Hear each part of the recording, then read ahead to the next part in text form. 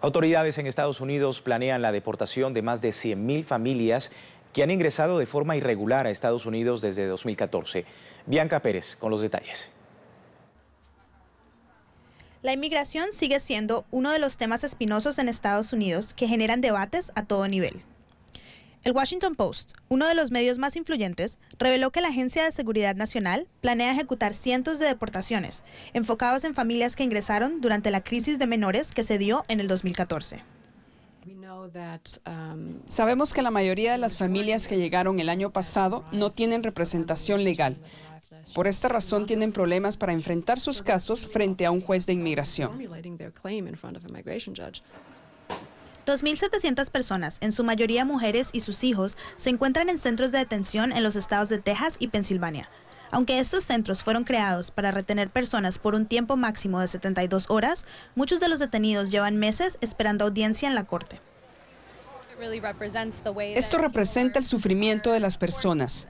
Ellos están siendo castigados por estar aquí en situación irregular. Analistas aseguran que cuando las personas en situación migratoria irregular son deportadas a sus países de origen, deben enfrentar condiciones difíciles y extremas. Muchas de estas personas tienen deudas con los coyotes y tienen que encontrar la manera de pagar entre 6 mil y 10 mil dólares. Muchas veces se encuentran con los mismos tipos de violencia y pobreza que los llevó a huir y los servicios de ayuda para la reintegración a sus comunidades son insuficientes.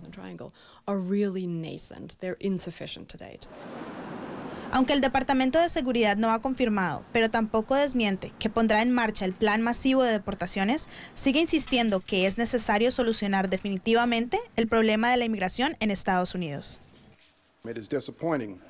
Es decepcionante que el Senado pasó un proyecto de ley para una reforma migratoria comprensiva en el 2013 y que la Cámara de Representantes no ha hecho lo mismo para tratar de arreglar un sistema migratorio deficiente.